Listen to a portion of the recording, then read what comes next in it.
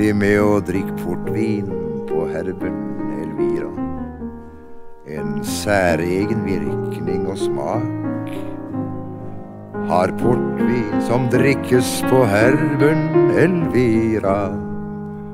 Under syrinenes tak. Vi er ikke kloke og vakre, Elvira. Vi har mistet og glemt og forspilt. Men syrinene blomstrer på herben, Elvira. Og været er junimild. Og jeg har spart flittig av trygden, Elvira. Du vet jo det ikke var lett. Men se hva jeg har med på ferden, Elvira. En flaske med grønn etikett. Og båter skal stryke langs leden, Elvira. Med kursen mot Oksvallås bro. Og kjølvannets bølger skal bruse, Elvira. Mot Herbern og mot oss to.